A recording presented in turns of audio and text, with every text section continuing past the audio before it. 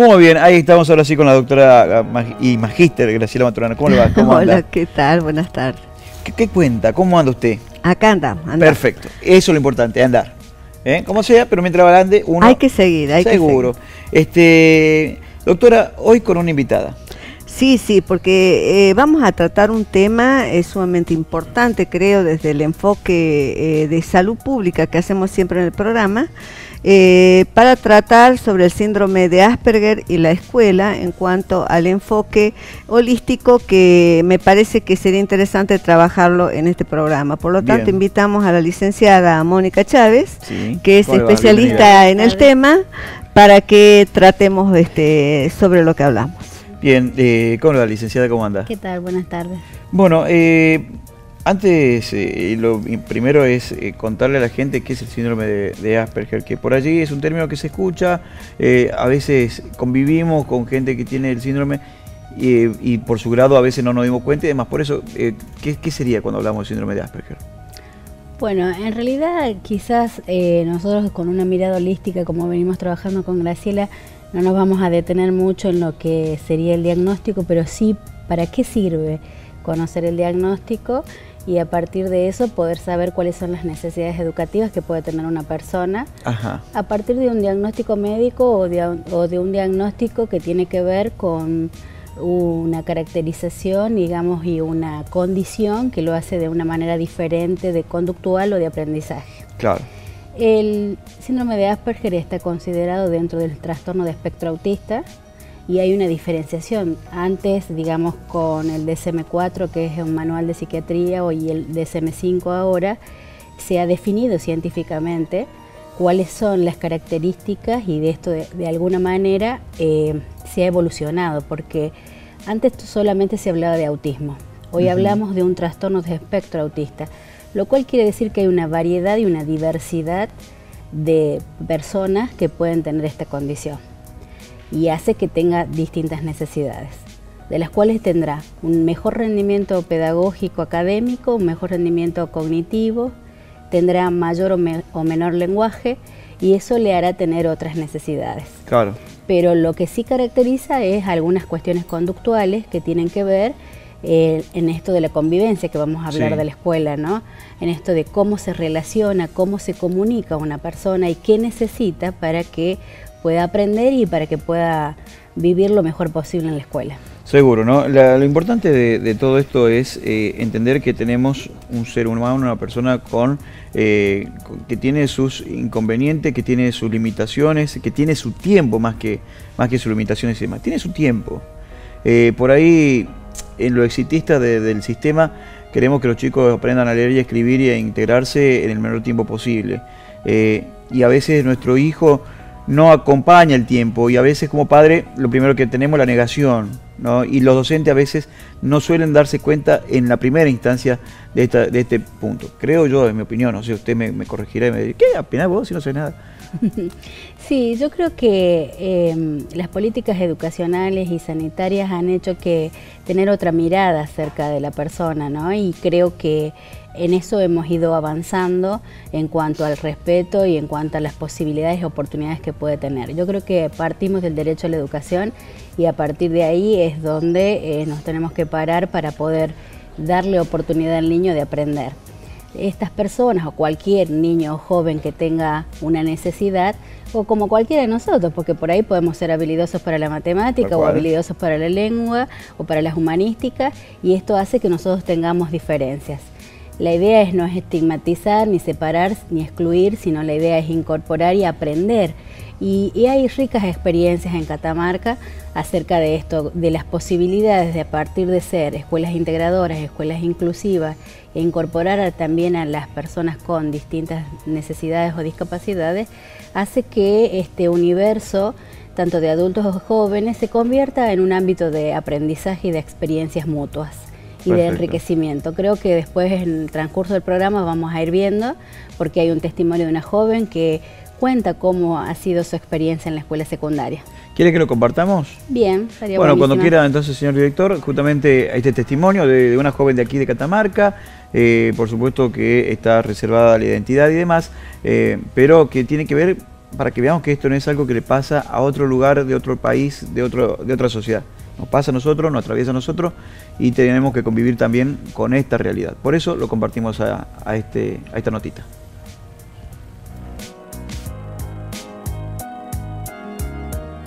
Hola. Bueno, vamos a charlar un poco de algunas cosas de la escuela. Dale. Te voy a hacer algunas preguntas. Ajá. A ver, ¿me puedes contar qué cosas te gustan de la escuela? A mí me gusta comer tranquila, me gusta estar de, me gusta estar sola, desenvolviéndome, ya porque ya voy acostumbrando que yo ya tengo suficiente edad. Yo ya tengo 17 años, pero soy menor todavía. Bien. ¿Y qué cosas no te gustan de la escuela? No me gusta que mis compañeros y compañeras que me digan al último momento, por ejemplo, ya está, ya está, hay que, no, por ejemplo, no vi, por ejemplo, trajiste algo, eh, no etcétera, cosas más, mucho. Bien. ¿Y de los profesores? ¿Qué de los profesores, los profesores son eh, exigentes son.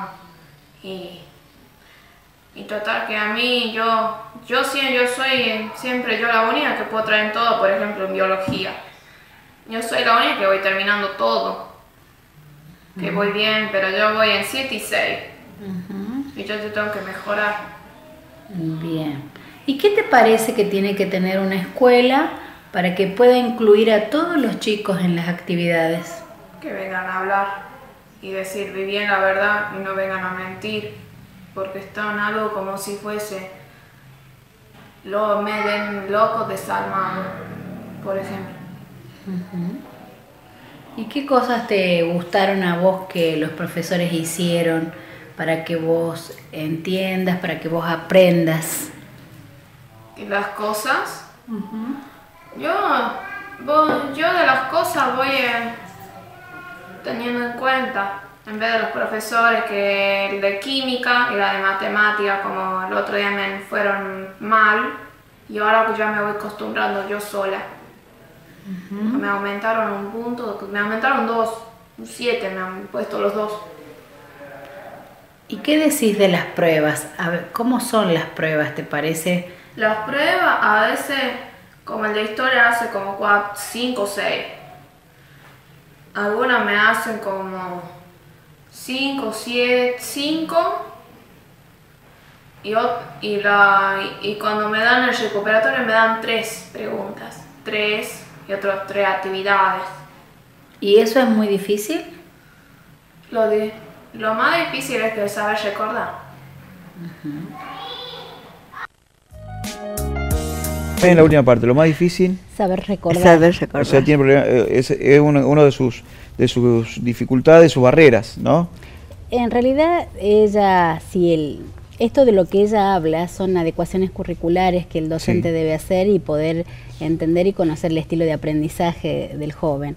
Eh, ella cuando habla de saber recordar es cuando mm, tiene que memorizar una lección, digamos, eh, quizás memorísticamente o de ser eh, textual, ellos tienen muy buena capacidad memorística y quizás es una memoria episódica que tiene que ver con lo vivencial. Ella puede, de hecho, el relato que ella hace es de, del transcurso de su historia secundaria, que ella ha tenido la primaria con una maestra integradora que la acompañó, que hizo las adaptaciones y con tratamiento psicopedagógico y neurológico, y hoy en la secundaria está sola y ella, eh, por eso ella habla mucho de que ya me sé desempeñar sola, que ya puedo sola, y cada vez va ampliando sus necesidades de independencia y de autonomía y de ir resolviendo situaciones de la vida diaria eh, de manera espontánea y sola, ¿no?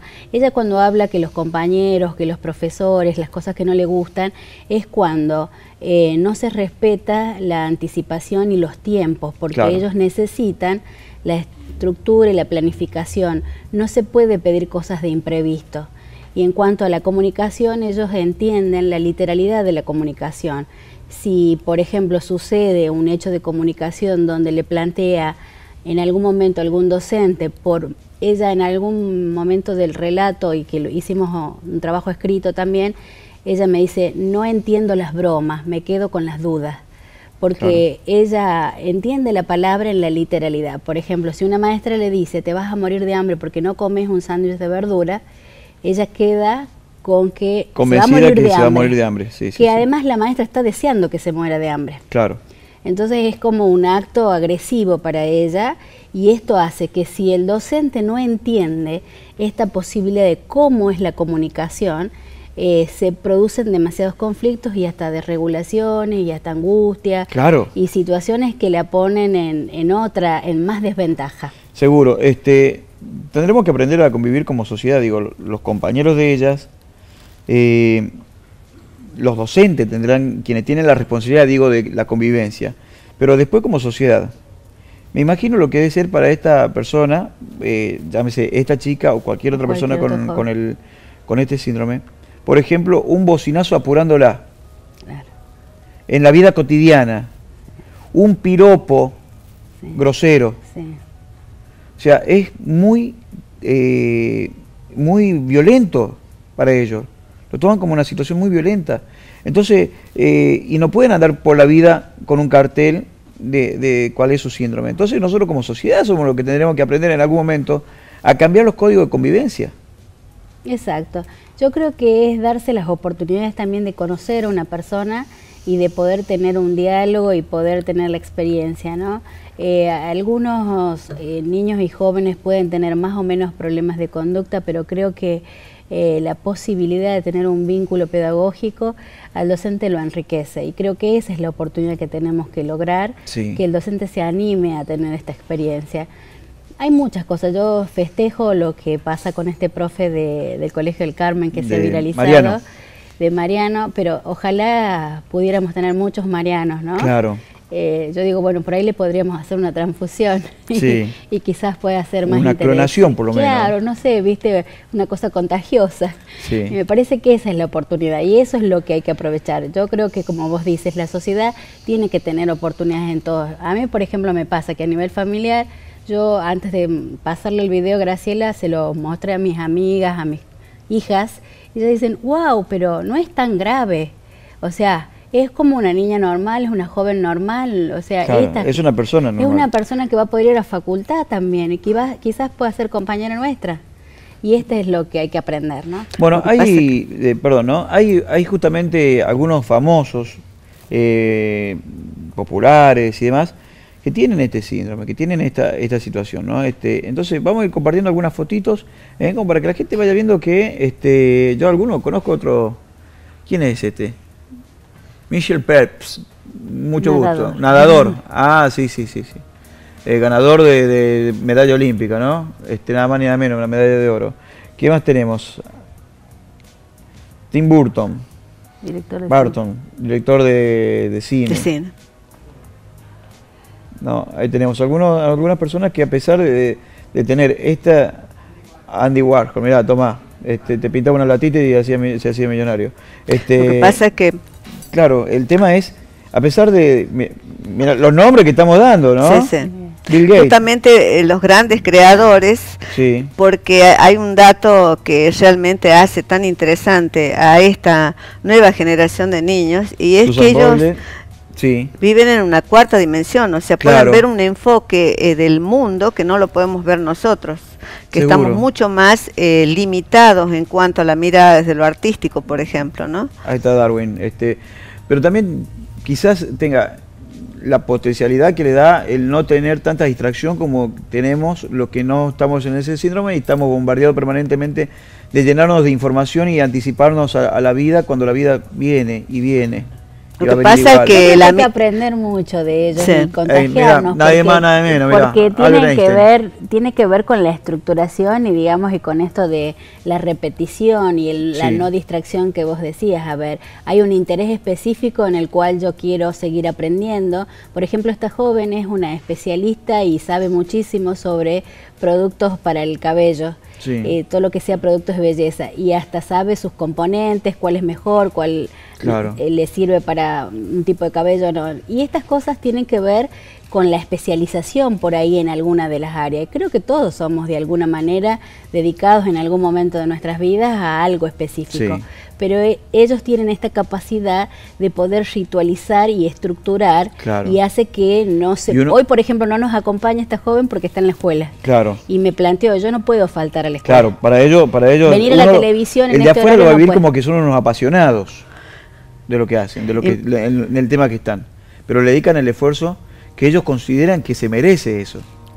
¿No? Lo que pasa es que miran desde otro enfoque. Claro. Ese- por eso cuesta tanto que la sociedad, como usted decía, puede entender este tipo de, de personalidades, porque no es que ellos crean, sino que específicamente sienten que este, eh, visualizan, o sea, pensando en imágenes como decía Temple Grandin, la gran Sí. científica eh, de Estados Unidos, que Claro, la diferencia entre estos países y donde nosotros vivimos es que justamente tienen eh, una tecnología y tienen una capacitación en sus profesionales que hace que aprovechan esta capacidad de, de, como decía Mónica, de, centrarse en un tema, de poder desarrollar un tema con tanta capacidad para hacer de eso una ciencia. Bueno, lo decía la, la nena, que por ejemplo una de las cosas que le, que le molestaba era, por ejemplo, que ella cumplía, era la que más cumplía en biología.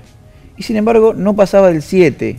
Claro. ¿no? Digo, a veces el docente no se daba cuenta de que una mano en el hombro, que puede ir acompañada de una nota, una mano en el hombro es un muy buen, muy buen trabajo, te felicito, le, le pudo haber potenciado mucho más y haber este, cumplido más las expectativas de esta chica que sabía que había cumplido, pero que, que quizá no era eh, lo que la docente no estaba acostumbrada a que la docente dé en, la- en el momento de la oratoria de una lección oral. Pero digo, ella de- lo dice, yo cumplo, soy la única que cumple en tiempo y forma y no puedo pasar del 7. Bueno, ese es el enfoque que nosotros hablamos cuando hablamos de lo holístico.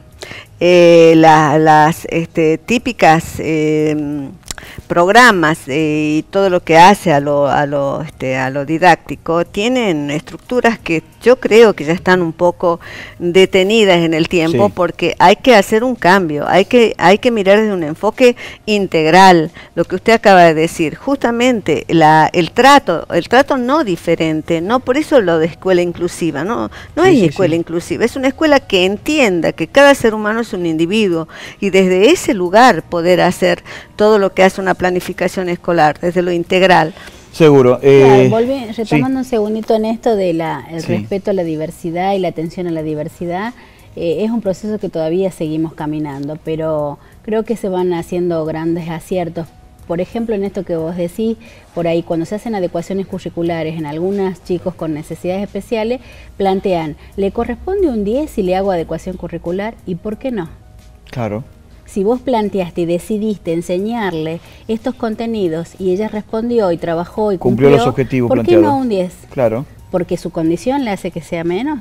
seguro. No, este Seguro. es lo que hay que ir trabajando. Seguro. bueno, Ese, a- perdón, no somos- ese es el concepto, Mónica, que hoy se trabaja sobre lo inclusivo. Seguro. Porque hay que tener mucho cuidado cuando se habla de escuelas inclusivas. Estamos hablando de que una escuela que incluye al diferente, que incluye al distinto, hoy no, es buscar una escuela que integre absolutamente a todos los seres humanos, pero sin ese límite que le pone entre lo normal y lo anormal. A ver, eh, con lo que planteaba recién la licenciada, eh, hay chicos que dan, por eso le digo, tienen la facilidad de la oralidad al momento de expresarse o de escribir los trabajos que son merecedores de los mayores elogios. Pero hay chicos que cumplieron el trabajo y dejaron todo y ellos se llevan un 6 y un 7. Y no digo chicos que estén con este síndrome, digo en lo general. En general. Entonces nos ponen en una balanza permanente entre el, el exitista, el éxito y el chico destinado a fracasar porque no le da las condiciones naturales, si se quiere, eh, de, de- de la oralidad y demás. Esto tiene que cambiar. Eh, hablan mucho de, eh, de Freud, de, de- de- de- de- de los sistemas nuevos de educación, eh, pero sin embargo seguimos en sistemas bancarizados. El docente Porque, se para frente claro. a la clase y es el que maneja la clase. Porque La se nunca sigue, entera. se sigue, se sigue focalizando el Sí. hemisferio izquierdo a la razón. Seguro. Seguimos con las viejas eh, este, eh, formación cartesiana que valora la razón. O sea, fíjese Sí. usted al punto de que tenemos miles de casos, pero si usted tiene que aprender matemáticas, Sí. A costa del esfuerzo y de, y de que llore y de que sufra, por ejemplo. Seguro. Cuando lo que acabábamos de decir en el niño no es esa la inclinación, sino, por ejemplo, el arte. Y, en- y fíjese usted a tal punto que las materias que realmente desarrollan el hemisferio derecho son llamadas pasivas, como educación física, música, eh, manualidades, por ejemplo. Seguro. En otro tipo de escuelas, como por ejemplo Alemania, que siempre lo pongo este, porque ahí nació la- las Waldorf, trabajan al revés, desarrollando los dos hemisferios, el derecho y el izquierdo. El Qué hacer y el sentir. Seguro, seguro. Bueno, ha sido un placer estar compartiendo con ustedes, eh, haber charlado de este tema, eh, que, que por ahí muchos lo desconocemos, ¿no? Este, a- estas cuestiones que van separándose y se van clasificando dentro del espectro autismo, eh, del espectro autista, eh, y que a veces los chicos sufren muchísimo porque no son entendidos, no nos damos cuenta que ellos tienen otro tiempo, nada más, es simplemente otro tiempo, no son diferentes, son chicos con otro tiempo. Por ahí no es que sean malos, somos acelerados nosotros. Tenemos Está más que aprender de ellos. Así Exacto. es. Un placer, ¿eh?